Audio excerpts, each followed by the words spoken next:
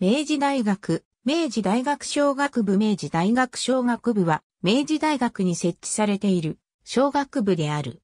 私学初の小学部として設立された伝統を誇り、明治の商科として事実上、明治大学の看板学部である。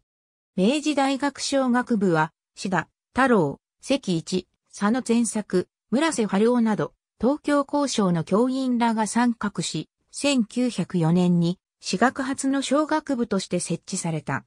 少人数教育を重視しており、学科は、小学科一学科で、小学の広い分野を学ぶことができるようになっている。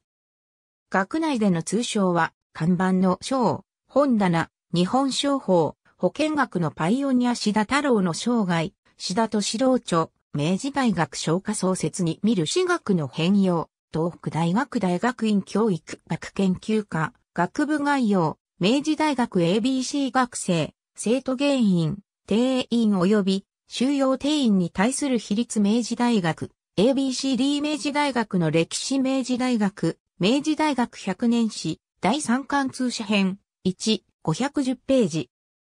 明治大学100年史、第3巻通社編、1、656から659ページ。明治大学商品博物館、商品陳列館の半世紀2003年、7から8ページ明治大学商品博物館、商品陳列館の半世紀2003年、69ページ、明治大学商品博物館、商品陳列館の半世紀2003年、20ページ、明治大学商品博物館、商品陳列館の半世紀2003年21から22ページ、明治大学商品博物館、商品陳列館の半世紀2003年22ページ、明治大学用語集30選。知ってた？これであなたも明治通り。ありがとうございます。